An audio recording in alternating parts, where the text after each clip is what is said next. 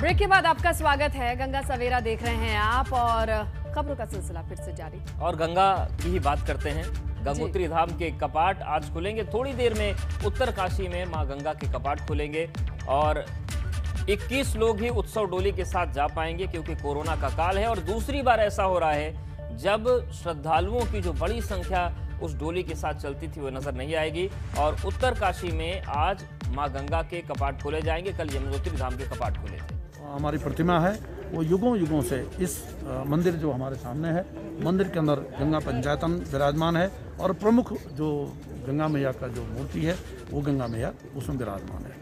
और कालांतर में, क्योंकि बहुत कठिन था, भगत महाराज से प्रेरणा ली, तत् तत्समय के जो राजे महाराजे रहे होंगे, उन्होंने इस परम वैभवशाली स्थान का दर्शन करना चाहा, सेवन करना चाहा, यात्रा प्रारंभ हो गई। और धीरे धीरे पहले छोटा मंदिर ऐसा आता है बहुत छोटा मंदिर था, लघु मंदिर था।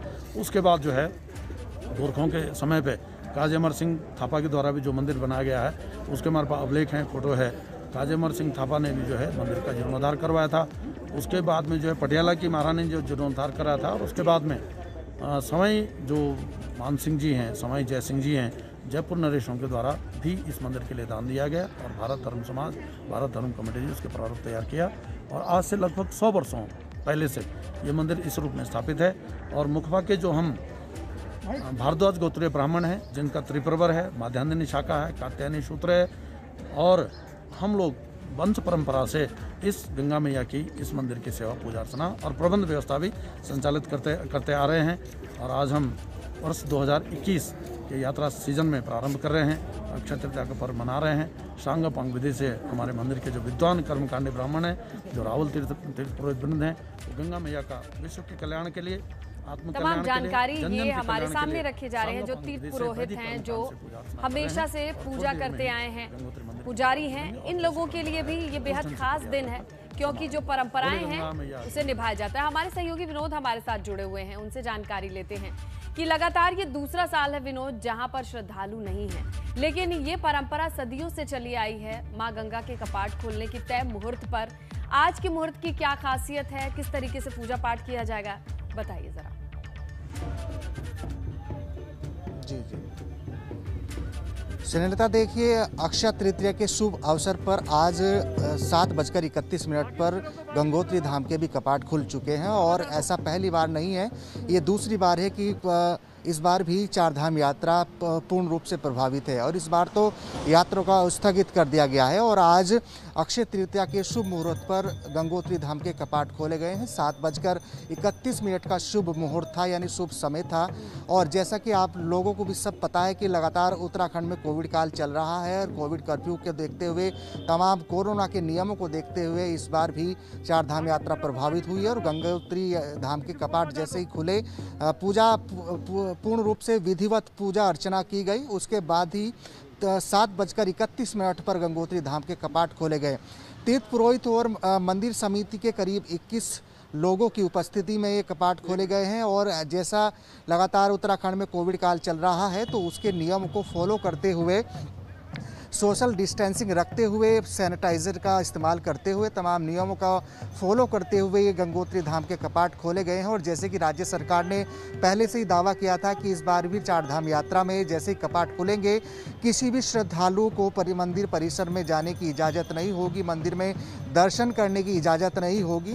तो ऐसा ही विधिवत रूप से आज पूजा अर्चना गंगोत्री धाम में होने के बाद में सात बजकर इकतीस मिनट पर गंगोत्री धाम के कपाट खोले गए हैं। और तीर्थ पुरोहित और मंदिर समिति के 21 लोगों की उपस्थिति में ही ये कपाट खोले गए हैं अक्षय तृतीया का शुभ मुहूर्त है और आज शुभ मुहूर्त के अवसर पर सात बजकर इकतीस मिनट पर गंगोत्री धाम के कपाट खोल दिए गए हैं और स्नेहलता ये भी देखना ज़रूरी होगा का कर्फ्यू लगा था लॉकडाउन लगा था तो एक व्यवस्था बनाई गई थी कि बाहरी श्रद्धालु तो नहीं आएँगे लेकिन जो वहाँ के ग्रामीण है चाहे बद्रीनाथ के हों चाहे चार धाम से संबंधित जो ग्रामीण है वो दर्शन कर सकते हैं तो आसपास के ग्रामीण जा पाएँगे या अभी जो बैन है वो सभी के लिए है? जी। देखिए, अभी फ़िलहाल सभी के लिए पूर्ण रूप से प्रतिबंध किया गया है, क्योंकि अभी पूजा पाठ, जिस तरह से अलग अलग धामों के, कल यमुनोत्री धाम के कपाट खुले, उसमें भी यही दृश्य देखा गया कि करीब मंदिर समिति और तीर्थ पुरोहित के 21 लोगों ने ही विधिवत रूप से यमुनोत्री की पूजा पाठ करके कपाट खोले और आज सेम यही नज़ारा आज भी गंगोत्री धाम में देखा गया और अभी तक राज्य सरकार ने किसी भी धाम में किसी को भी प्रवेश करने की इजाज़त नहीं दी है। मंदिर समिति और तीर्थ पुरोहित के के जो पुजारी हैं उन्हीं के उपस्थिति में कपाट खोले गए हैं और कल भी यमुनोत्री के कपाट जब खुले थे तब भी इक्कीस लोग मौजूद थे और आज सात बजकर इकतीस मिनट पर गंगोत्री धाम के कपाट खुले हैं। तो अभी फ़िलहाल अवधेश किसी को भी इजाज़त नहीं है और आगामी अभी बद्रीनाथ धाम के केदारनाथ धाम के कपाट खुल रहे हैं तो यही नज़ारा वहाँ पर भी देखा जाएगा। लेकिन अभी फ़िलहाल बढ़ते कोरोना संक्रमण को देखते हुए तमाम राज्य सरकार ने एडवाइस भी जारी की गई है। अभी अभी बस परंपराओं सेवाओं का निर्वहन चल रहा है। इसी प्रार्थना के साथ कि आने वाले वक्त में ये तस्वीरें बदले, लोगों की ज़िंदगी में ज़्यादा चैन हो, सुकून हो। देखते हैं माँ गंगा का आशीर्वाद लोगों तक कैसे पहुँचता है। विनोद, आपका शुक्रिया तमाम जानकारी के लिए। ग्रेटर नोएडा की खबर है, चुनावी रंजिश में गोलियाँ चली। आपको बताएँ, बीडीसी प्रत्याशी के पिता को बदमाशों ने गोली मार दी है। गोली लगने से बीडीसी प्रत्याशी के पिता की मौत हो गई है। और ये बदमाश गोली मारकर बड़े आसानी से फरार भी हो गए हैं।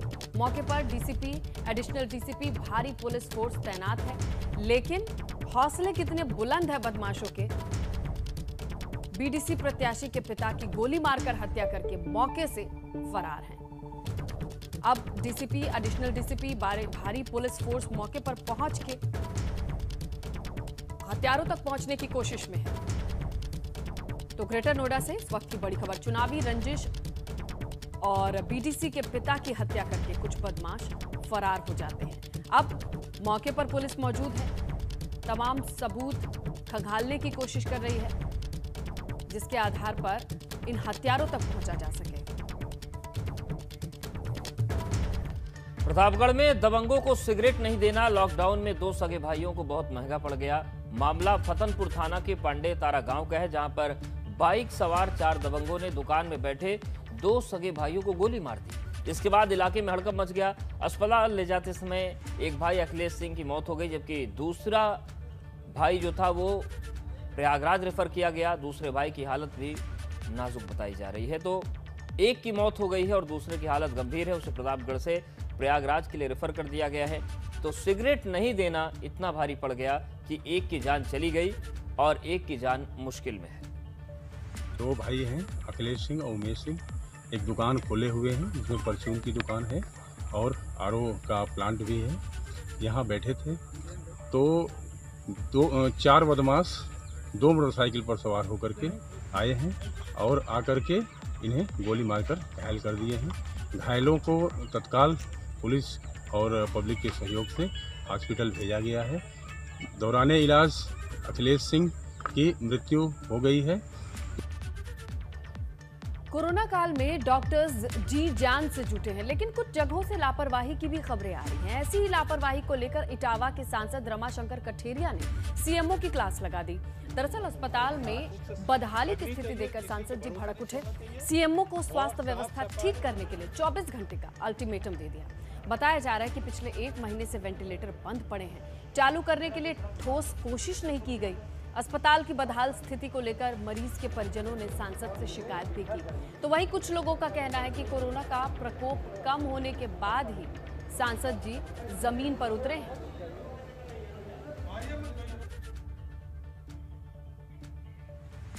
की दूसरी लहर आकर के कम हो गई है, वहीं अब जनप्रतिनिधियों ने कोविड अस्पताल की ओर रुख करना शुरू कर दिया हमारे साथ इस वक्त इटावा सांसद रामशंकर कठेरिया जी मौजूद हैं। उनसे जानते हैं कि कोविड अस्पताल में मरीजों का क्या हाल है। सर, आप आए, कोविड अस्पताल का निरीक्षण किया है। क्या हाल है मरीजों का? देखिए, अभी यहाँ पर जिला जो अस्पताल है हमारा मोती झील इटावा में, यहाँ पर सभी अधिकारी हैं और मैं यहाँ पर जो जानकारी मिली है तो उस जानकारी में हमारे पास पूरी तरह से यहाँ पर ऑक्सीजन, किसी तरह कोई कमी नहीं है और किसी तरह बेड की कोई कमी नहीं है और जो वेंटिलेटर की बात है, यहाँ वेंटिलेटर भी सारे पर्याप्त हैं तो किसी तरह कोई दिक्कत नहीं है। यहाँ सारी टीम पूरी लगी हुई है, हम लोग भी पूरी चिंता कर रहे हैं और यहाँ जो पेशेंट अभी भर्ती हैं लगभग सत्तर, अस्सी के लगभग अस्सी हैं। तो उनकी स्थिति भी कोई नाजुक नहीं है वो कंट्रोल में है और उनका ऑक्सीजन जो एक तरह से कहा जाए वो ठीक है। Sir Mohammad Farik ABP Ganga Etawah. और बिहार से सटे गाजीपुर ज़िले में तीन चार दिन पहले लाशों के नदी में बहने का सिलसिला शुरू हुआ था जो लगातार जारी है। प्रशासन का कहना है कि बिहार के मोहनिया भभुआ और कैमूर के इलाकों से लाशें बहकर आ रही हैं। कुछ दिन पहले बिहार से सटे इलाकों के पास बैरियर लगा दिया गया था ताकि शव बिहार की सीमा में ही रुक जाएँ। ऐसा ही कुछ हाल जमानिया तहसील के तलाशपुर में दिखा। यहाँ पर पुलिस ने बैरिकेटिंग की है नदी में और शवों को वापस बिहार की सीमा में बहा दिया जा रहा है।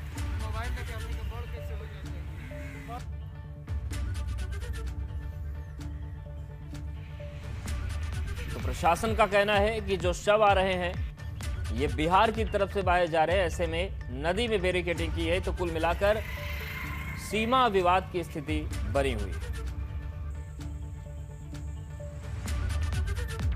यूपी में एक तरफ़ कोरोना से त्राहिमाम मचा है तो अब ब्लैक फंगस की दस्तक भी देखी जा रही है। कोरोना से ठीक हुए मरीजों को अपना शिकार बना रहा है ये ब्लैक फंगस, और इससे उनकी आँखों की रोशनी पर सीधा अटैक हो रहा है। एक हफ़्ते के अंदर यूपी समेत पूरे देश में ब्लैक फंगस के मामले बढ़े हैं। एक्सपर्ट्स की माने तो ब्लैक फंगस का खतरा डायबिटिक लोगों को ज़्यादा है, और कई स्टडीज़ बता रही हैं जो स्टेरॉइड्स दिए जा रहे हैं ऐसे लोगों के ऊपर। उनका असर भी या साइड इफ़ेक्ट भी देखा जा रहा है कोविड से ठीक होने के बाद। तो ऐसे मामले आने शुरू हो गए हैं।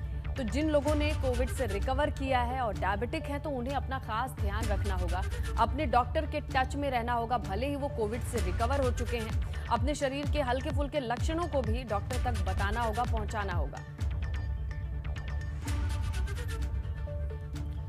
मथुरा में ब्लैक फंगस के तीन मामलों ने स्वास्थ्य विभाग में हड़कंप मचा दिया है जिनमें दो मरीजों को ट्रेस कर लिया गया और तीसरे की जानकारी जुटाई जा रही है। ब्लैक फंगस की चपेट में आए तीन में से दो मरीज़ कोविड से ठीक हुए थे जिसके बाद उन्हें इस वायरस ने भी घेर लिया और आँखों से कम दिखने की शिकायत उन्हें हो रही है। तो ब्लैक फंगस के तीन मामलों की पुष्टि हुई है और मथुरा में भी ये मामले सामने आए बिल्कुल अवधेश ये चिंताजनक स्थिति है, लेकिन यहाँ पर भी थोड़ी जागरूकता की ज़रूरत है। जो लोग ठीक हो चुके हैं, जिनकी इम्यूनिटी यानी रोग प्रतिरोधक क्षमता पहले से कम रही है, यानी जिसने ऑर्गन ट्रांसप्लांट कराया है या डायबिटिक है, उन लोगों को खास ध्यान रखना होगा। सिर दर्द हो, आँखों में जलन हो, इन तमाम छोटे मोटे लक्षणों को उन्हें दरकिनार नहीं करना है। मैंने माँ को 23 अप्रैल को भर्ती किया। माँ ने बोला कि 25 अप्रैल से ही मेरी रोशनी चली गई थी। मैंने वहाँ की नर्सों के स्टाफ से भी बोला, डॉक्टर से भी बोला, सभी लोगों से बोला, लेकिन उन्होंने कोई रेस्पॉन्स नहीं दिया। देखिए, तीन लोग अभी तक हमारे पास संज्ञान में आए हैं और दो के, हम दो लोगों से हमारी बातचीत भी हो चुकी है। उनकी हम डिटेल और रिपोर्टें मंगा रहे हैं। डॉक्टर साहब लोगों को पता कैसे चलेगा कि वो ब्लैक फंगस का शिकार है? क्या लक्षण है इसके? जरा बताएँ। देखिए जनरली मरीज़ जो शुरू में जब कोविड पॉजिटिव होता है या जो लोग कोविड पॉजिटिव है और साथ में डायबिटिक भी है तो उसके साथ जो अगर जब सही हो जाते हैं कई लोगों में सही होने के बाद भी जब शुगर लेवल हाई रहता है तो ऐसे लोगों में क्या होता है नाक में कोई प्रॉब्लम क्रिएट होती है या फिर कहीं भी एक एप्सिस टाइप की बनती है तो उसमें ये फंगस है, वो मल्टीप्लाई और ग्रोथ करने लगता है। बिजनौर की अगर आप बात करेंगे तो ब्लैक फंगस के मरीजों की दस्तक यहाँ भी दिखाई दे रही है। इलाज के अभाव में मजबूरन निजी ईएनटी चिकित्सकों को बाहर इलाज के लिए भेजा गया जा रहा है। पिछले 10 से 15 दिन के भीतर 10 से ज़्यादा मरीज़ ब्लैक फंगस के आ रहे हैं। खास तौर से ये वो मरीज़ हैं जो कोरोना संक्रमित थे, लेकिन शुगर के मरीज़ हैं। बिजनौर में ब्लैक फंगस की दवा की कमी की वजह से डॉक्टर मरीजों को बाहर इलाज कराने की सलाह दे रहे हैं। कोरोना संक्रमितों को डॉक्टर ने सलाह दी है कि रोज़ाना शुगर लेवल चेक कराएँ, ऑक्सीजन लेवल कम होने पर घर पर ऑक्सीजन कतई न लें, साथ ही स्टेरॉइड लेने में जल्दबाजी ना बरतें। पोस्ट कोरोना पेशेंट्स में यूजुअली डायबिटिक पेशेंट्स में जिनको ज़्यादा जल्दी स्टेरॉइड चलता रहता है ज़्यादा जल्दी स्टेरॉइड शुरू रहता है उनमें ज़्यादा कॉमन है। और ये आजकल बहुत ज़्यादा दिखाई दे रहा है जो पहले साल में एक आध मरीज़ आता था वो हमने पिछले दस दिन में करीब दस पंद्रह दिन में करीब दसों मरीज़ देख लिया और आज आज सुबह से दो मरीज़ देख चुका हूँ तीसरे का फ़ोन आया है। आज सुबह से भी तीन मरीज़ समझ लीजिए सुबह से फंगस के आ गए। लेकिन मजबूरी ये है कि बिजनौर में अभी दवाई अवेलेबल नहीं है एम्फोटेरिसिन बी इंजेक्शन लगते हैं। कोविड संक्रमण काल ऑक्सीजन से हो रही मौतों के बीच गाजीपुर से राहत देने वाली खबर आई है। जिला अस्पताल में आज से ऑक्सीजन प्लांट की शुरुआत हो गई और अब एक साथ 45 बेड पर मरीजों को ऑक्सीजन दी जा सकेगी। कुछ दिन पूर्व जिला अस्पताल में ऑक्सीजन की कमी की खबरें आ रही थी, जिसके बाद डीएम एमपी सिंह ने खुद अस्पताल का कई बार निरीक्षण किया और इस दौरान डीएम के संज्ञान में बात आई। जिला अस्पताल में दो साल पहले ही ऑक्सीजन प्लांट लग चुका है, जिसे कुछ मशीनें लगवाकर शुरू किया जा सकता है। देखिए कोविड 19 का जो सेकेंड वेव आया, उसमें निरंतर जितने भी पेशेंट्स मिले, सबको ऑक्सीजन की आवश्यकता थी और एक तरह से ऑक्सीजन की मांग बेहद बढ़ गई। और ऑक्सीजन सिलेंडर्स और ऑक्सीजन प्लांट्स और ऑक्सीजन कंसंट्रेटर्स पर लोग निर्भर होते गए। क्योंकि हमारे यहाँ जिला अस्पताल में ऑक्सीजन प्लांट पूर्व में दो साल पहले बना था बट फंक्शनल नहीं था डिफेंड पड़ा हुआ था और कोई भी मशीनरी वगैरह वहाँ नहीं लगी। जब ये कार्रवाई शुरू हुई, हमने जाँच करी तो मैंने पाया कि ऑक्सीजन कंसेंट्रेटर्स के साथ साथ यदि हम अपना ऑक्सीजन प्लांट भी स्टार्ट कर दे तो शायद ऑक्सीजन की एक बड़ी मांग हम पूरी करने में सक्षम होंगे। बात मुजफ्फरनगर की, भीषण सड़क हादसे में तीन लोगों की मौके पर दर्दनाक मौत हो गई, जबकि दो घायल हैं। घटना की सूचना पर मौके पर पहुँची पुलिस ने घायलों को इलाज के लिए जिला चिकित्सालय में भर्ती कराया। हालत को गंभीर देखते हुए मेरठ रेफर करना पड़ा है, जबकि दूसरे का इलाज जिला चिकित्सालय में ही जारी है। पुलिस ने मृतकों के परिजनों को पूरे मामले की जानकारी दी, जबकि घटना के बाद ट्रक चालक मौके से फरार बताया जा रहा है। पुलिस ने ट्रक को कब्जे में ले लिया है।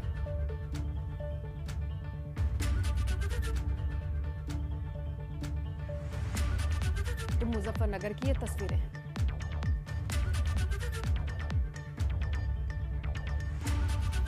तो सड़क पर सुरक्षित चलना बहुत ज़रूरी है क्योंकि अंजाम बहुत बुरा होता है। पश्चिमी यूपी की खबरों का रुख करते हैं।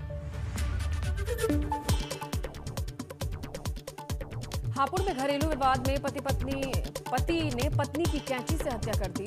पुलिस ने आरोपी पति को हिरासत में ले लिया जबकि महिला के परिजन दहेज के चलते महिला की हत्या का आरोप लगा रहे नोएडा फेस थ्री पुलिस और बदमाशों में मुठभेड़ हो गई, जिससे एक बदमाश घायल हो गया, जिसके इलाज के लिए अस्पताल में भर्ती कराया गया है। घायल बदमाश हत्या के मामले में फरार चल रहा है।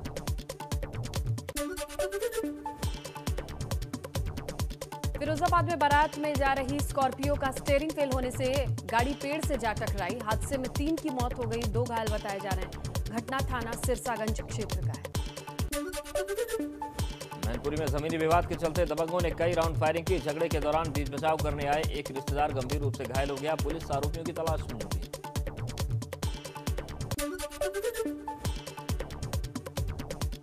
मथुरा नगर निगम की कूड़ा उठाने वाली गाड़ी ने महिला पुलिसकर्मी को टक्कर मार दी। इलाज के दौरान महिला सिपाही की मौत हो गई। पुलिस कानूनी कार्रवाई में जुटी है, जबकि परिजनों का रो रो मुजफ्फरनगर में भीषण सड़क हादसे में तीन लोगों की मौके पर दर्दनाक मौत हो गई, जबकि दो अन्य लोग घायल हैं। पुलिस ने घायलों को इलाज के लिए जिला चिकित्सालय में भर्ती कराया है। कोविड कर्फ्यू का पालन करते हुए यमुनोत्री धाम के कपाट खोल दिए गए थे और इसी के साथ उत्तराखंड में चार धाम यात्रा की शुरुआत हो गई है। हालाँकि इस बार भी पिछले साल की तरह ही बिना श्रद्धालुओं की मौजूदगी में सन्नाटे के बीच कपाट खुले।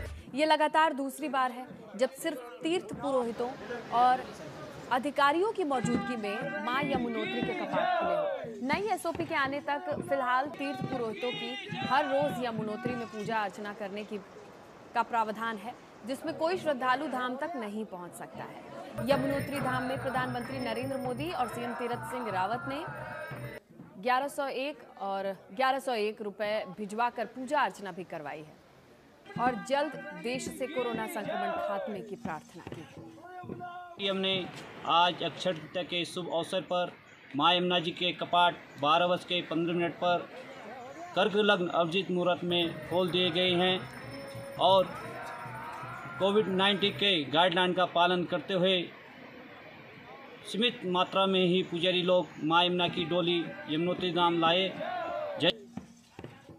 यमुनोत्री और गंगोत्री के साथ ही भगवान केदारनाथ की पंचमुखी चल विग्रह उत्सव डोली शीतकालीन गद्य स्थल ओमकारेश्वर मंदिर यानी कि ऊखी मठ से रवाना हो गई है। इसके बाद डोली को रथ से रवाना किया गया।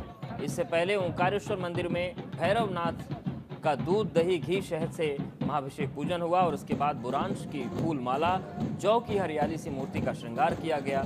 और देखिए यही वो ओंकारेश्वर मठ है जिसे ऊखी मठ भी कहा जाता है। यहाँ से जो उत्सव डोली है वो रवाना की गई। और आपको बता दें कि कोरोना महामारी के चलते इस बार भी डोली को रथ से रवाना किया गया स्थानीय लोगों ने दूर से ही बाबा के दर्शन किए।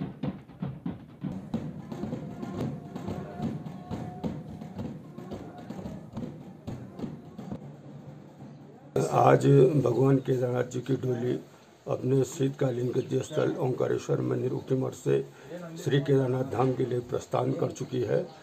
और इस वर्ष भी कोरोना काल की वजह से भगवान जी की डोली को जो है, वाहन के माध्यम से श्री केदारनाथ धाम पहुँचाया जा रहा है। और गौरीकुंड में पहला पड़ाव डोली का होगा। उसके पश्चात भगवान की डोली वहाँ से पैदल श्री केदारनाथ धाम के लिए प्रस्थान करेगी। तो कपाट खुल गए हैं बस थोड़ी कृपा। मानवता के लिए भी बरसे यही प्रार्थना होगी। इसी के साथ गंगा सवेरा में आज बस इतना।